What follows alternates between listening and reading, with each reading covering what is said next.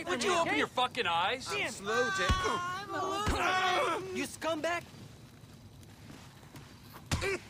I'm gonna seriously fuck you up, eh? Ah!